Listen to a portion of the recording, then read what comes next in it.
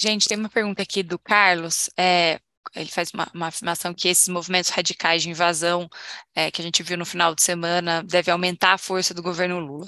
É, aí ele pergunta se gente, vocês acreditam que o aumento dessa força pode impactar em um aumento ainda maior da política fiscal é, do que já haveria se não houvesse esse, esses eventos recentes e como isso pode impactar os investimentos.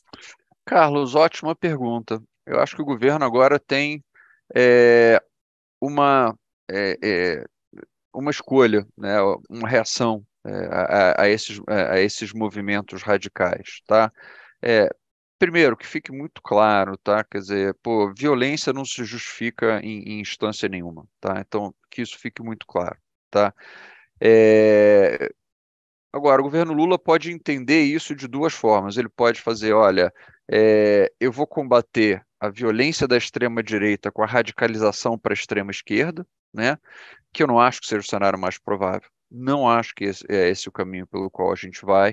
É, ou ele pode dizer o seguinte: olha, é, isso aqui é um, é um grupo de pessoas é, é, que não é representativo das pessoas que não votaram em mim, tá? mas tem um grupo grande de pessoas que não votaram em mim e que não apoiam 100% o meu projeto, né? por isso não terem votado em mim. Então, poxa, isolando esses radicais, entendeu? Esses radicais têm que ser, é, é, é, é têm que ser tratados de uma forma diferente, mas eu, vamos fazer agora um discurso de união nacional. Está na hora de nós nos unirmos, gente. Está é, tá na hora da gente é, evitar radicalismos, tá? Vamos, vamos, vamos sair dos radicalismos, do de esquerda, do de direita, vamos fazer um discurso de união nacional, vamos fazer um governo de união nacional, é, que pode ter matizes, entendeu, com mais gastos sociais, isso é uma discussão democrática justa, tá? É do perfil dos gastos do governo, mas, poxa, vamos passar um pente fino no que, que o governo faz, no que, que o governo gasta, qual é a eficiência dos gastos do governo, tá?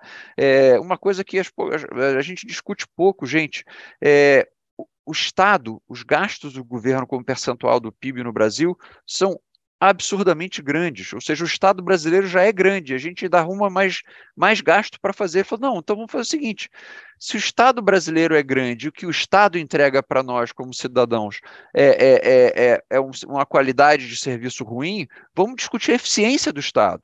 Vamos discutir a eficiência do gasto do governo.